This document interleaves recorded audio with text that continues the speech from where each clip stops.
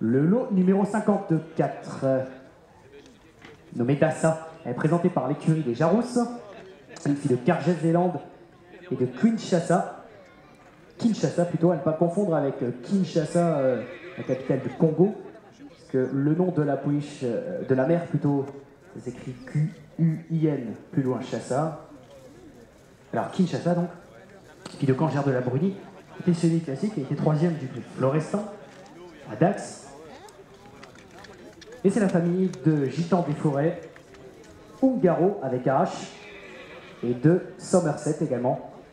Et plus loin, sous la quatrième mer, on retrouve euh, Montilou, Echiomo et Eagle Rock. Et l'origine de la famille Teco. Voilà, on va trotter. Donc cette Tassa, cette fille de Cargès-Zélande, présentée par l'écurie donc des Jaros, il vient de Corrèze, département numéro 19.